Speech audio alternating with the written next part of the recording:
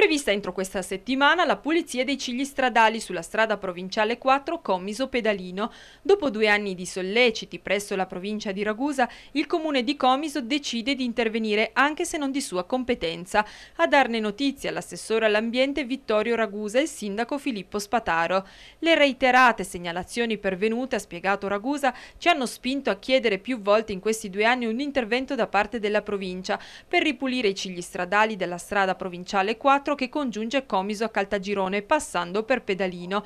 Non essendo di competenza del comune comisano, l'amministrazione spiega di aver più volte sollecitato evidenziando il carattere di estrema necessità dell'intervento, poiché a causa dell'aumento di erbacce lungo i cigli le carreggiate si sono troppo ristrette. Inoltre proprio la strada provinciale in questione fiancheggia l'aeroporto di Comiso e così ridotta non offre certo uno spettacolo accettabile per i turisti in arrivo.